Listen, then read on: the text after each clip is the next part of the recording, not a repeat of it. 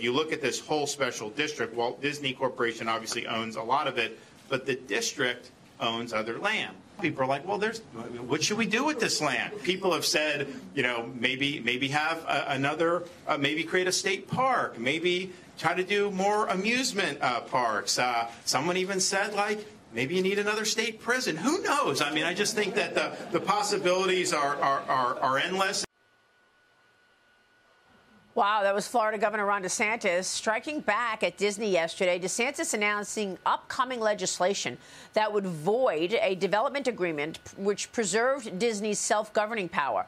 He teased higher taxes for the corporate giant and potentially putting up a prison near the Disney World theme parks. Mark, he's tough on Disney, huh? He's very tough on Disney. Um, that the whole prison thing next to a theme park that might be a little extreme, but I think he was joking. So, assuming he was joking, um, look, it, it's totally fair to want to penalize Disney's as, as, the corporation, but we don't want to penalize our kids under any circumstances.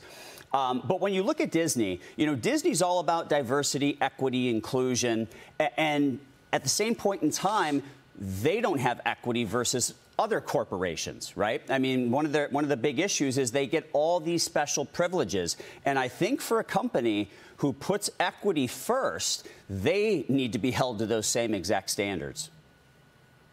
Yeah, it's also probably one of China's favorite companies, right? They've got their uh, China theme park and certainly have been supportive Amber. They definitely have been supportive of China. Disney is basically China's best friend.